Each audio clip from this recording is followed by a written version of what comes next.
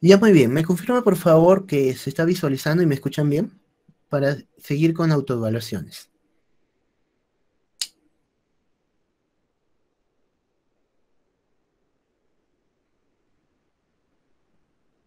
¿Sí? ¿Están viendo mi diapositiva? ¿Se me escucha bien, por favor?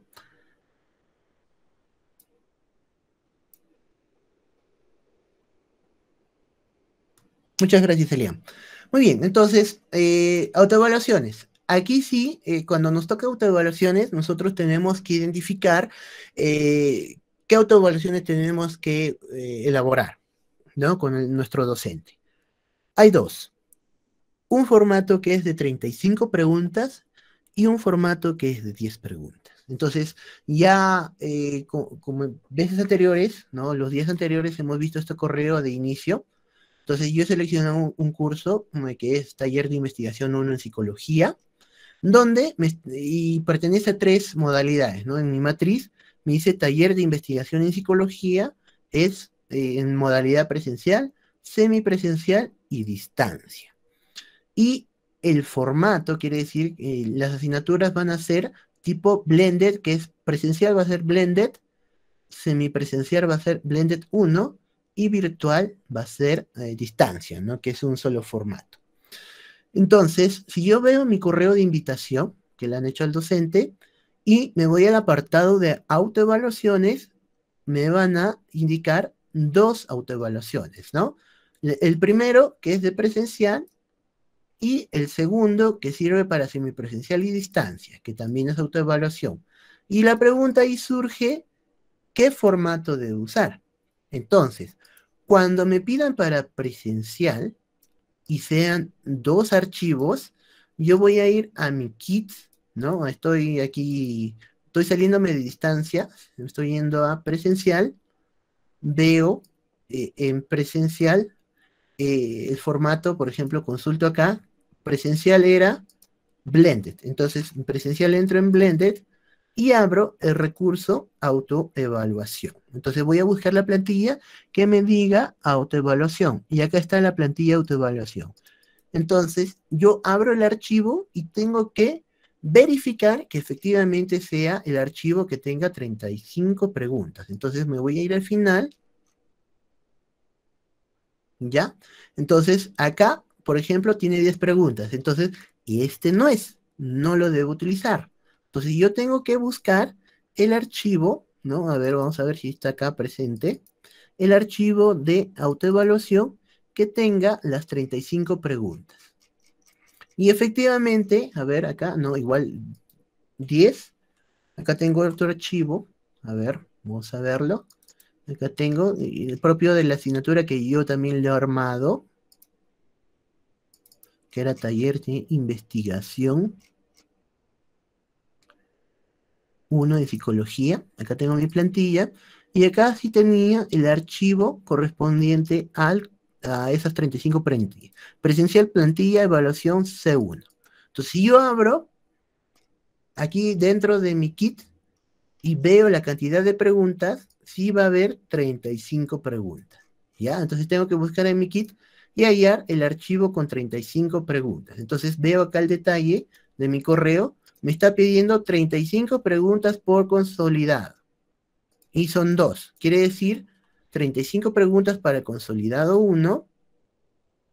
Y este mismo he generado otro archivo, ¿no? Que tiene presencia de plantilla para Blended consolidado 2, que también tiene 35 preguntas. ¿Ya? Eso es el primero. Entonces, voy a ver el sílabo y para que caiga, o sea, ya Estoy repitiendo un poco la información de lo que están desarrollando el día de ayer, pero no está de más. ¿Por qué? Porque miren, me voy a presencial. Estoy ahorita en presencial, me voy a la quinta parte que es evaluación presencial y acá donde me dice este rubro, actividades de trabajo autónomo en línea, esto es la autoevaluación. Consolidado 1 tiene actividad de trabajo autónomo en línea. Vendría a ser esto lo de aquí, que sería eh, presencial plantilla para el consolidado 1. Este es el de acá, ¿ve? Entonces, eso correspondería según mi sílabo.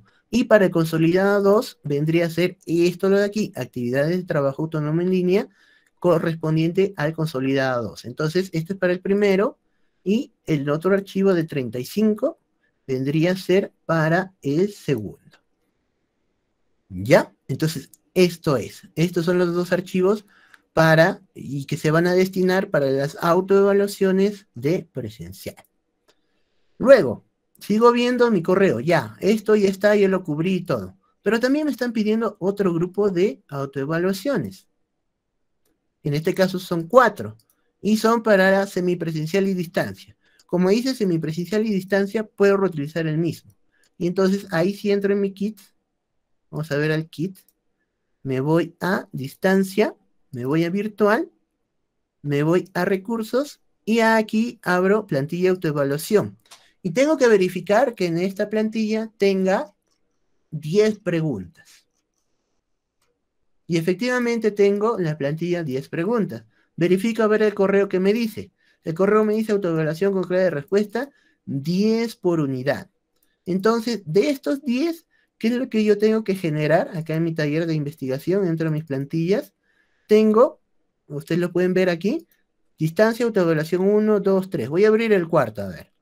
Distancia, esta es mi plantilla para ese curso Taller de Investigación 1.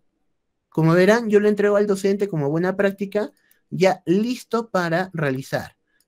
¿Qué es eso listo? Taller de investigación, el nombre de la asignatura. El, eh, el número de la autoevaluación. ¿Cómo es la de la cuarta unidad? La 4. También le pongo ya, le completo la semana. Y dejo lo demás, o sea, repaso todo el formato que esté ok con las 10 preguntas para que se pueda realizar la autoevaluación de manera correcta. Ahora, ventajas, desventajas de esto.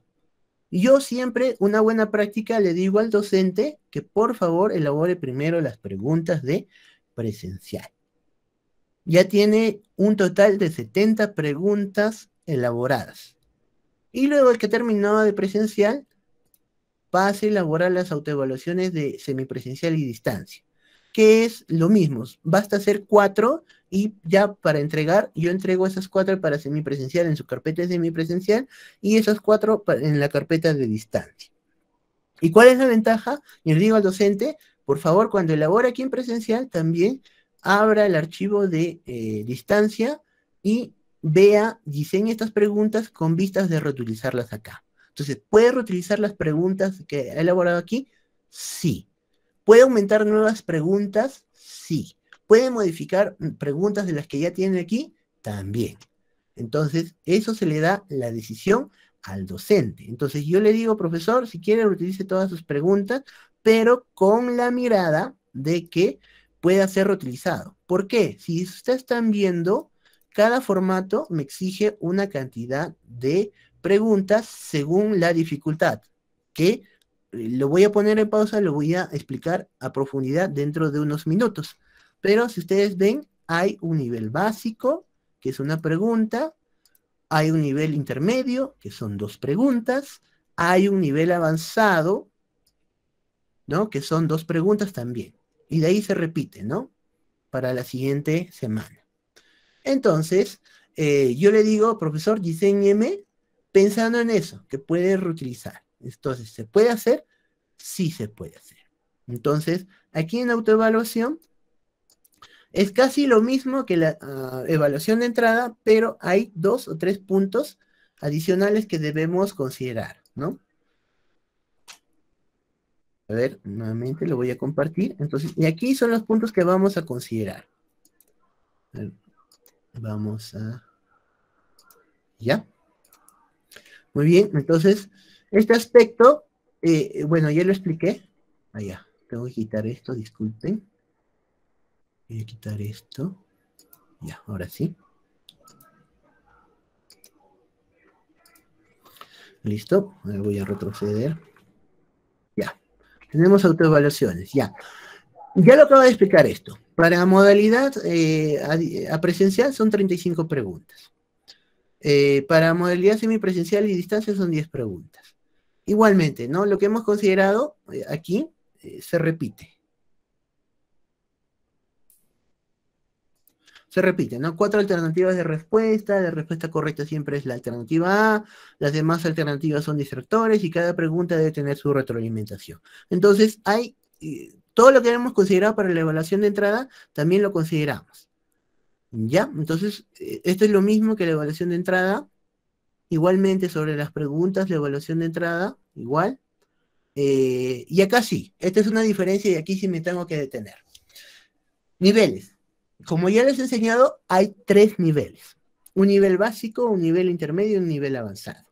Entonces, yo le voy a pedir al, docente que me elabore esa cantidad que ya les dije, una, una básica, dos intermedios y dos avanzados por semana, ¿no? Por semana. Entonces, en el caso de eh, distancia, van a ser dos semanas, un total de 10, y en el caso de eh, presencial van a ser 35, ¿no? Entonces, eh, siete semanas. Muy bien, entonces, eh, para el nivel básico, las preguntas deben considerar, ¿no? Mm, preguntas que evoquen la memoria, que definan cosas, o que sean problemas fáciles o ejercicios operativos sencillos.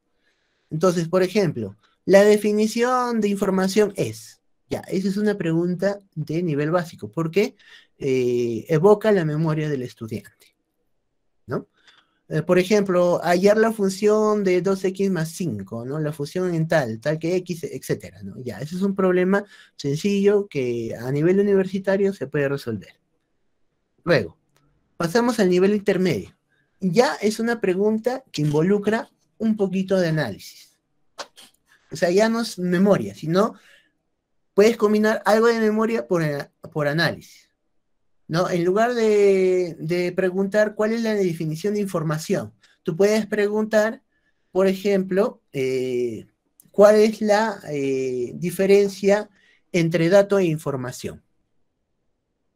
Ya, esa es una pregunta que involucra un poquito más de análisis. Uy, ¿qué era dato? ¿Qué era información? Ya dato era aquí, Dato es solamente algo que nos dice acerca de un ente. Información, en cambio, son datos procesados. Allá, ah, entonces, el estudiante al momento de leer la pregunta ya está haciendo un pequeño análisis.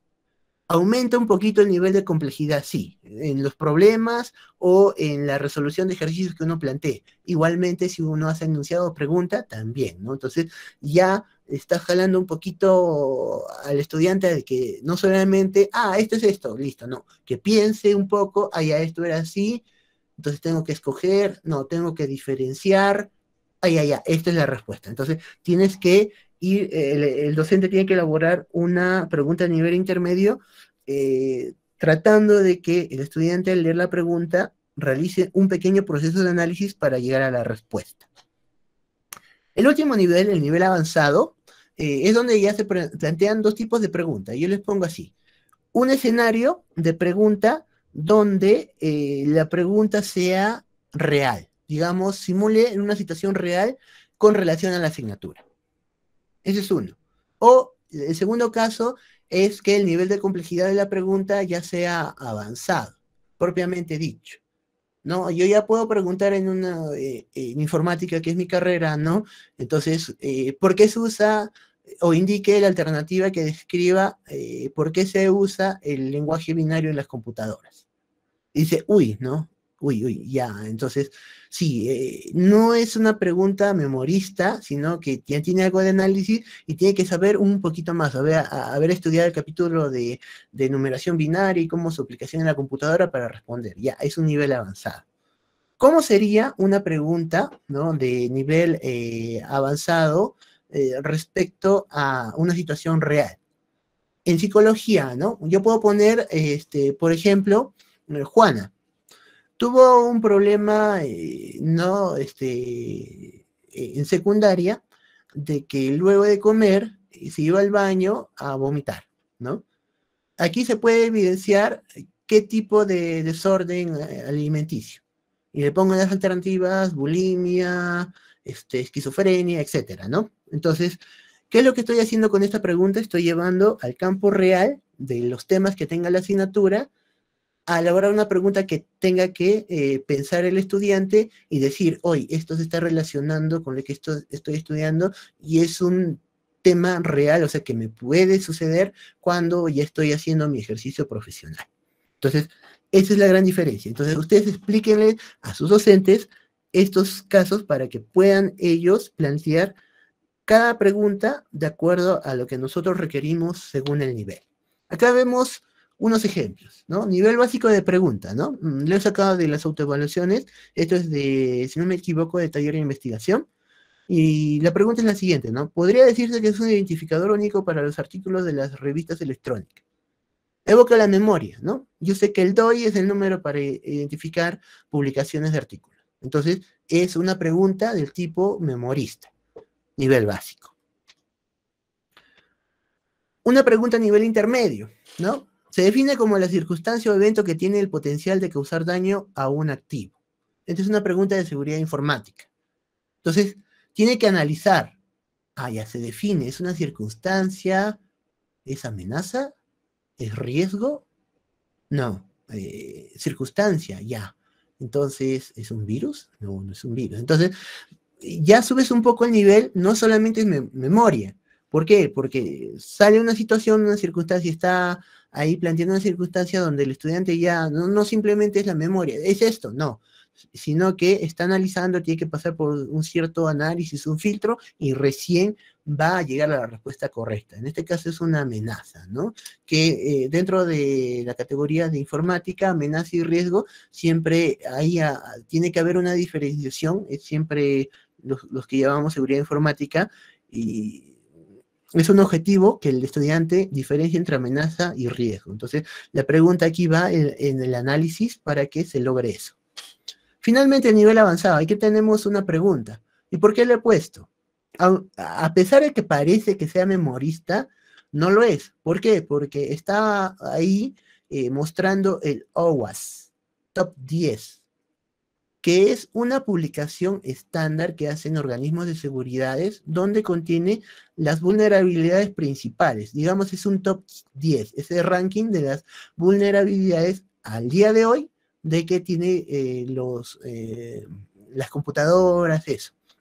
Entonces, para que el estudiante sepa la respuesta correcta, no es memorista, sino tiene que saber que en la realidad existe ese ranking es una página web donde puede entrar día a día, que va actualizándose día a día, donde eh, va a saber que el tema de seguridad está aplicándose según su carrera. Entonces, ¿por qué le estamos considerando nivel avanzado? Porque es en el plano real real. Y ahí en la retroalimentación estamos con la explicación, ¿no? El OAPS es un top 10, es una lista de los 10 riesgos de seguridad, etc. Entonces, entra dentro del campo real. Entonces, por ser real, entra dentro del nivel avanzado.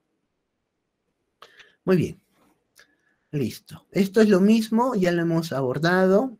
También lo hemos abordado. A ver, listo, también lo hemos abordado ya sobre las autoevaluaciones es similar a la evaluación de entrada, entonces ya no lo voy a tocar, sería redundar. Ya lo hemos tocado.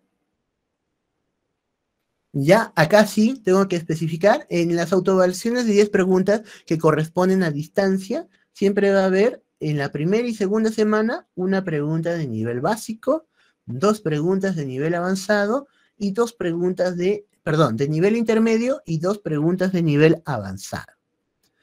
En su contraparte, en las evaluaciones de 35 preguntas que son para la modalidad presencial, vamos a tener desde la semana 1 a la semana 7, quiere decir 7 bloques de una pregunta de nivel avanzado, dos preguntas de nivel intermedio y dos preguntas de nivel avanzado. Aquí hay un error, aquí se me fue, debía haber puesto avanzado. Y ya, entonces aquí es avanzado.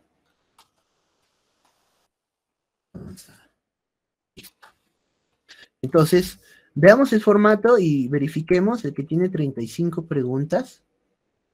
A ver, aquí lo voy a volver a abrir, ya lo había cerrado. Ya, aquí está. Entonces, para entenderlo, en el ejemplo, por ejemplo, en la primera semana, digamos en la semana 9, este es este, consolidado 2, entonces uno de nivel básico dos de nivel intermedio, efectivamente, y dos de nivel avanzado, hasta las 5. Y ese mismo bloque, en esa misma lógica, se repite para el resto de semanas. En la semana 10 vamos a tener el mismo bloque. Uno de nivel básico, dos de intermedio y dos de avanzado. Así hasta la séptima semana, ¿no? Que en este caso vendría a ser la semana, aquí lo vamos a ver, la semana 15. Listo. No sé si está ahí alguna pregunta, ¿se entendió? Esto debe estar bien claro porque cuando llega el formato, a ojo cerrado ustedes ya deben eh, realizar todo, ¿no? Sin, sin dudas y con mucha seguridad. Ya, no hay preguntas hasta aquí. Entonces, el último de este tema vendría a ser evaluados.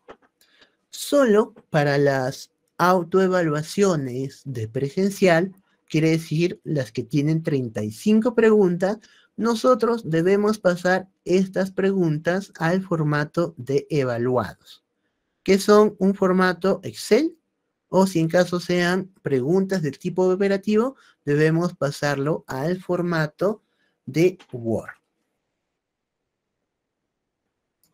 Entonces vamos a verlo aquí. Aquí lo tenemos, Excel carga de cuestionario. Este es el formato de evaluados.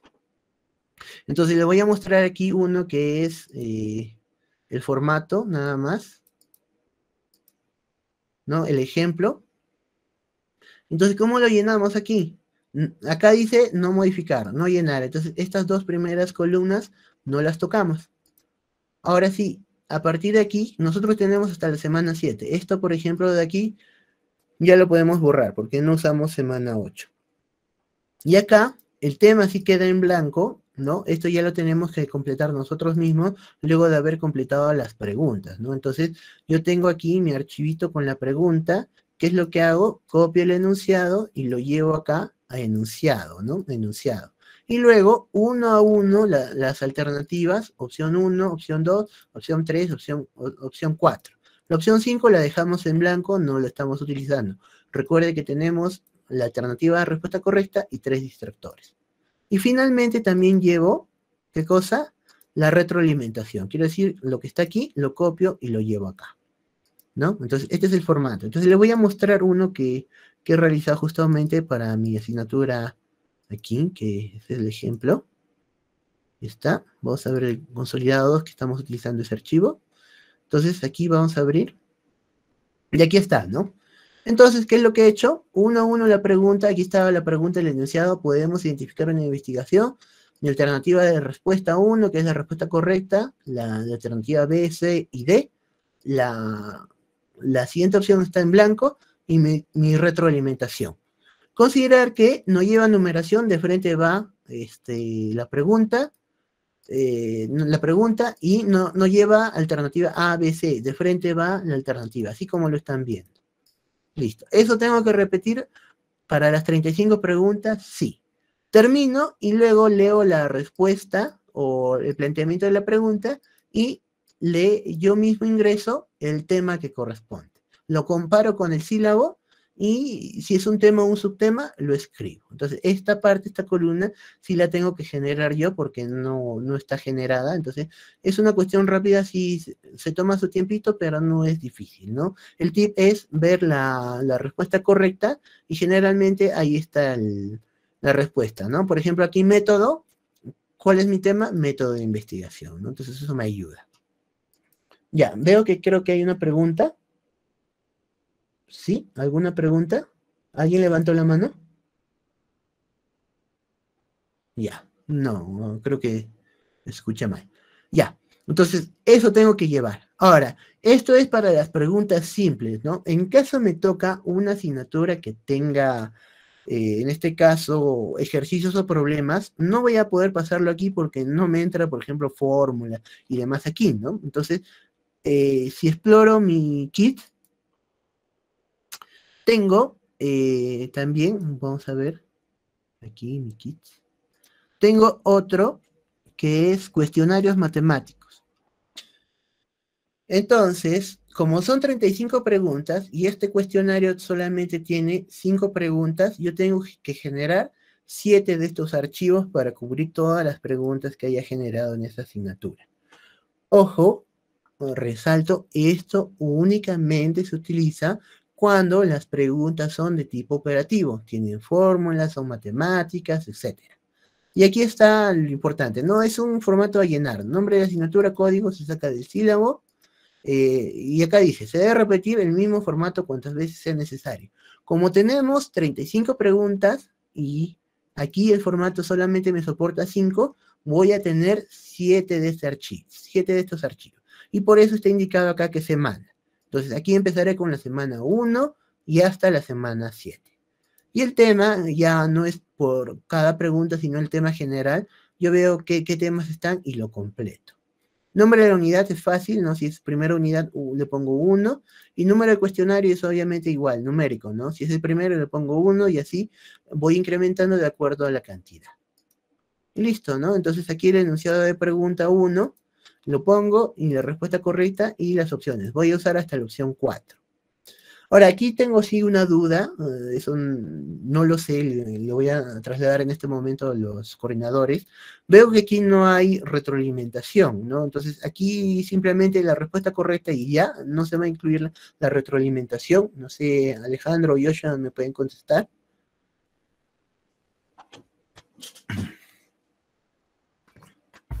Paul, en el caso del formato de, evaluados, se completa según lo que ellos están solicitando. Para, ese caso, si ellos no lo han solicitado, no, no es necesario. Entonces, no hay retroalimentación. Simplemente la opción 1 es la correcta y ya. Sí, eh, bueno, ese es otro detalle, Paul. si es que en el caso de que mm, vayan a solicitarlo o algo, ya que esta, esta semana están teniendo reuniones también con ellos, eh, se va a incorporar. Yo creo que no, pero probablemente si es que es así, ya les vamos a ir avisando también.